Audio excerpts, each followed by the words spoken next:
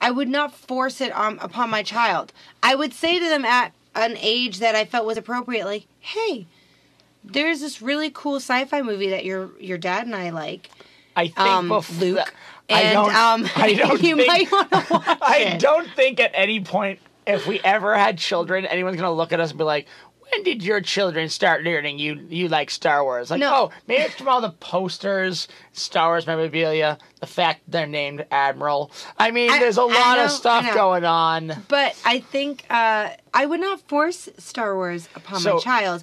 I would, you know, let them know of it and you know What it- introduce it to them. And if they didn't like it, then we would be having a garage sale, and our child would just happen to be for sale.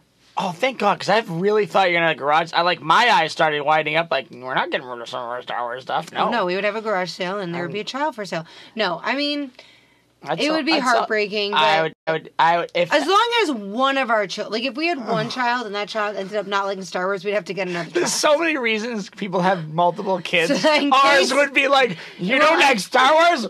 Tommy, get to bed. We're doing it again. Just in case one of them doesn't like Star Wars.